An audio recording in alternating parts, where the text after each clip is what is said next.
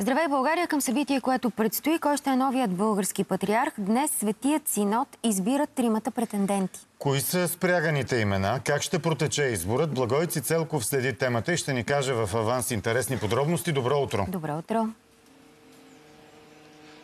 Добро утро! Преди минути успях да разговарям с американският митрополит Йосиф, който помните, обяви, че патриарх Неофит е новия български патриарх преди 12 години. Той каза, че някои хора не са очаквали да се завърне в България и това, за което ще се бори по време на заседанието, е да има повече разум. Митрополитите са изправени пред сложен избор, защото всъщност 14 имат право на глас. Деветима са онези, които отговарят на условията, като митрополит Йосиф каза, че самият той ще си подаде отвод, казвайки, нека да не избират патриарх след някоя друга година, аз вече съм на повече от 80 години.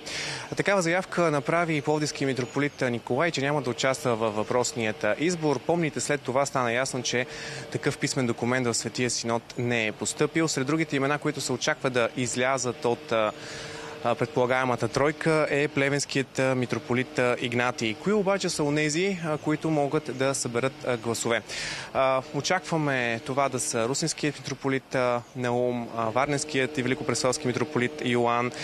Гласове могат, разбира се, да получат Врачанския Григорий, Видинският Данаил, Ловшинският Гавриил, както и великотърновският митрополит Григорий. Защо е труден и сложен избор? Защото трябва да бъде с две трети от участващите митрополити в въпросното заседание, т.е. минимум 9 гласа, а според митрополит Йосиф дори 10. Т.е. при тайното гласуване всеки един трябва да събере а, поне 9 гласа, за да може да влезе в а, тройката, от която после всъщност 145 а, църковни делегати гласуват на 30 юни. Там влизат, разбира се, митрополити, епископи, игумени на манастири.